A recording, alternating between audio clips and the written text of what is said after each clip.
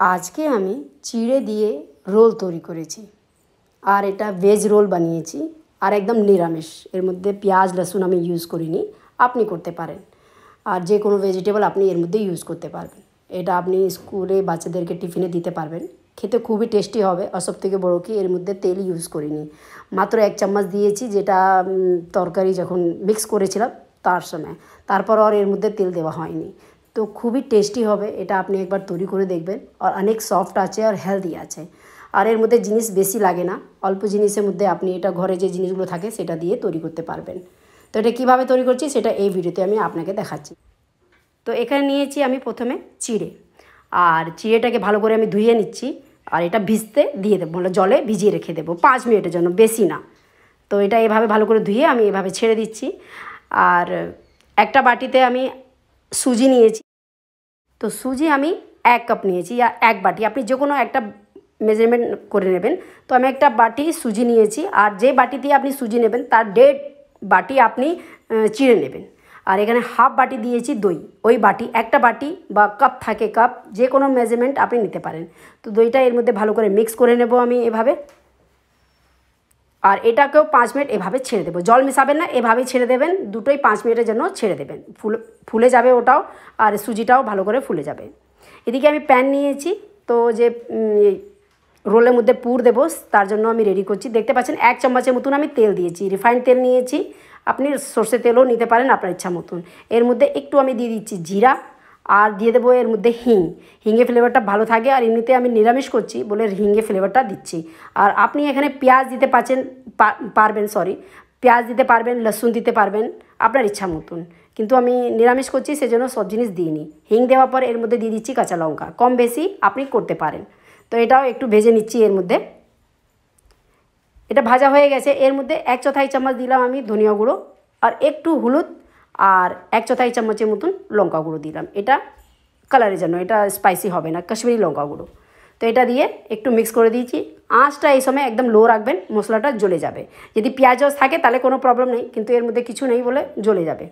এরপর এখানে গাজর দিয়েছি, কুচি কুচি করে গাজর দিয়েছি, মটরশুঁটি দিয়েছি। আপনার কাছে ক্যাপসিকাম থাকে ক্যাপসিকামও এর মধ্যে দিতে পারেন। আর যে হিসাবে আপনি তৈরি করবেন, সেই হিসাবে এই জিনিসগুলো আপনি দিতে পারেন। এরপর এর মধ্যে দিয়ে দিচ্ছি পাতাকপি তো এটাও দিয়ে আমি কুচি কুচি করে কেটেছি, এটা এর মধ্যে দিয়ে মিক্স করে দিচ্ছি। তো এরপর এর মধ্যে দিয়ে দেবো আমি নুন, স্বাদ মতো নুন দিয়ে দিচ্ছি। আর আপনি এখানে টমেটো দিতে পারেন, কিন্তু আমি টমেটো এর মধ্যে ইউজ করছি না। আমি টমেটো বদলে এখানে আমচুর পটা দেবো। আপনি লেবুর রসও দিতে পারেন আর টমেটো দিতে পারেন, আপনার ইচ্ছা। ওটা কিন্তু আগে দিতে হবে। যখন আপনি মশলাগুলো দেবেন তখন টমেটো দিতে পারেন। আমি ওইসব দিচ্ছি না। তো ভালো করে মিক্স করে এর মধ্যে একটু জল দিয়ে দেবো, কেন তেলটা অল্প দিয়েছি, সেজন্য নিচে লেগে যেতে পারে। তো দু তিন মিনিটের জন্য এবার ঢাকা দিয়ে দেবো। এভাবে ছেড়ে দেবো ঢাকা দিয়ে। তিন মিনিট পরে, তিন চার মিনিট পরে আমি ঢাকাটা খুলেছি। আর এই দেখুন, একদম জলটা যে দিয়েছিলাম সেটাও শুকিয়ে গেছে। আর জলটা বেশি দিইনি আমি চার পাঁচ চামচের মতন আপনি দিতে পারেন। ওর থেকে বেশি দেবেন না। আর এই যে ভেজিটেবলগুলো আছে, সেটাও একদম গলে যায়নি। একটু শক্তই আছে। এর মধ্যে এবারে আমি একটা আলু সেদ্ধ করে রেখেছিলাম, সেটা এর মধ্যে দিয়ে দিয়েছি। এটা বাইন্ডিংয়ে কাজ করবে, একটু ভালো করে এটা রোল করতে পারব সেই জন্য আমি একটা আলু দিলাম। এর মধ্যে দিয়ে দিচ্ছি আমি ধনিয়া পাতা। আর এটা ভালো করে মিক্স করে দিচ্ছি, যদি আপনার কাছে ধনিয়া পাতা না থাকে, তাহলে ওটা স্কিপ করতে পারেন। এরপরে এটাকে আমি ঠান্ডা হতে সাইডে রেখে দেবো। এদিকে যে সুজিটা, দইটা ভিজিয়ে রেখেছিলাম, আর চিড়েটা ভিজিয়ে রেখেছিলাম, দেখতে পাচ্ছেন ভালো করে ফুলে গেছে। তো চিড়ের জলটা আমি বের করে দেবো পুরো। ছাঁকনিতে রেখে। আর এর মধ্যে এই সুজি যে পেস্টটা বানিয়েছিলাম, সেটা এর মধ্যে দিয়ে দিচ্ছি আর এভাবে চিড়েটাও দিয়ে দিচ্ছি। জলটা দেবেন না, যদি জল থাকে, যদি বেশি জল থাকে, তো জলটা বের করে তারপর দেবেন। যদি পুরো টেনে নিয়েছে, তাহলে কোনো প্রবলেম নেই। আর এর মধ্যে দিয়ে দিচ্ছি আমি জল। তো এর মধ্যে এক কাপের মতন আমি জল দিয়ে দেবো। যেই বাটিতে আপনি সুজি মাপ করে নিয়েছেন, সেই বাটি মাপে এক বাটি আপনি এখানে জল দিয়ে দেবেন। তো এই ঘোলটা দেখুন, ভালো করে পারফেক্ট হয়ে গেছে। এই দেখুন কত স্মুথলি একটা পেস্ট তৈরি হয়েছে। দেখতে পাচ্ছেন কত গাঢ় আছে। চামচ উল্টো করলে পুরো গাঢ় গাঢ় লেগে আছে। একদম পাতলা জলে মতন থাকে না। একদম গাঢ়ও হবে না, একদম জলে মতনও। এরপর এটা আমি বাটিতে ঢেলে দিচ্ছি এইভাবে করে। আর দেখতেই পাচ্ছেন, একদম পাতলা হয়নি, গাঢ়ই আছে, কিন্তু একদম গাঢ়ও নেই। তো যত আমি জল বলেছি, সেই হিসাবে আপনি জল দেবেন, তাহলে ভালো এটা হয়ে যাবে। উনিশ বিশ হতে পারে, জলটা একটু বেশি লাগতে পারে।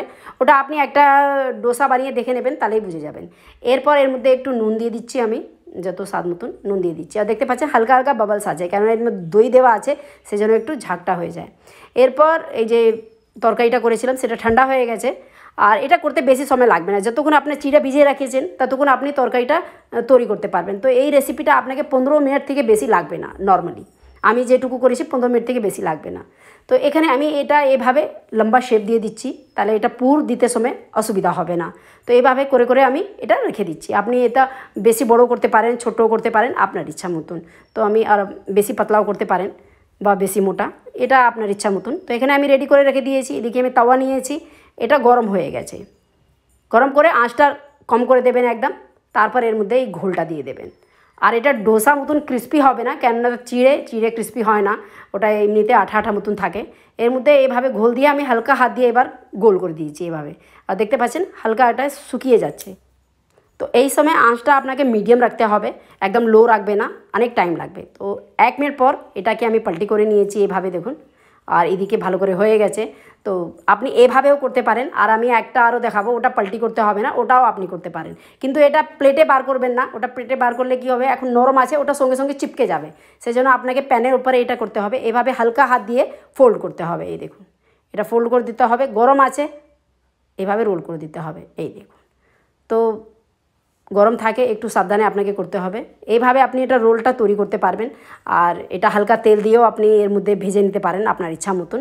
তো এটা করতে পারেন। আর একটা আমি আপনাকে দেখাচ্ছি। এভাবে ঘোলটা দিয়ে, আর ঘোলটা আবার বলছি, কম বেশি আপনি নিজের ইচ্ছা মতন যত বড় করতে চান, অত বড় করতে পারবেন। তো এটা এভাবে হালকা হাত দিয়ে ঘুরিয়ে দিতে হবে। আর একটু পরে আপনি দেখে নেবেন। এটা একটু পাল্টি করে দেখুন। হালকা কালার চলে এসছে মানে এটা হয়ে গেছে। তো আর আমি তিরিশ সেকেন্ডের জন্য এভাবে ছেড়ে দেবো, তাহলে কী হবে? ওপর থেকে ভালো করে শুকিয়ে যাবে। তো যখন ভালো করে ওপর থেকে হয়ে যাবে, হাত দিয়ে দেখায় বোঝা যাবে, তারপর এভাবে এর মধ্যে আপনি এই রোলটা রেখে দেবেন। আর আমি একটু সাইডে করে রেখেছি, আগে মাঝখানে রেখেছিলাম, সাইডে রাখলে ভালো হবে। এভাবে সাইড থেকে মুড়ে দিতে হবে, আর এটাও ফোল্ড করে দিতে হবে এভাবে। এই দেখুন। এতে কি হবে? হাত বেশি জ্বলবে না। তো এভাবে আপনি রেডি করতে পারবেন। আর এর মধ্যে হালকা আপনি ব্রাশ দিয়ে একটু তেল লাগিয়ে দেবেন। তাহলে কি হবে, যখন আপনি এটা নাবা, নিচে প্লেটে তুলবেন, তখন এটা চিপকাবে না। তো এভাবে ব্রাশ দিয়ে হালকা এভাবে তেল লাগিয়ে নেবেন। তাহলে এটা চিপকাবে না। তো এভাবে আপনি এগুলো তৈরি করে নেবেন। আর আপনি এটা নর্মালও তৈরি করতে পারবেন।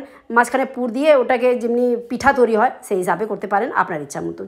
তো এখানে বানিয়ে নিয়েছি আর ঠান্ডা হওয়ার পর এটা নর্মাল হয়ে যাবে আর চিপকাবে না একদম। এমনিতে হালকা তেল লাগিয়েছি, কিন্তু ঠান্ডা হওয়ার পর একদম চিপকাবে না। খুব ভালো হবে খেতে, আর আমি আপনাকে কেটে দেখাচ্ছি। এই দেখুন, আপনি এটা বাচ্চাদেরকে টিফিনে দিতে পারবেন, একটু সস বা চাটনির সঙ্গে। ওরা, ওদের খুব ভালো লাগবে। আর একদম হেলদি আছে, তেল ইউজ করিনি, আপনাকে আগে দেখিয়েছি, তেলটা আমি ইউজ করি না। তো ভিডিওটা যদি ভালো লাগে থাকে, তো প্লিজ লাইক করবেন শেয়ার করবেন, আর আমার চ্যানেলকে সাবস্ক্রাইব করতে ভুলবেন না। দেখা যেন অনেক অনেক ধন্যবাদ, ভালো থাকবেন, সুস্থ থাকবেন।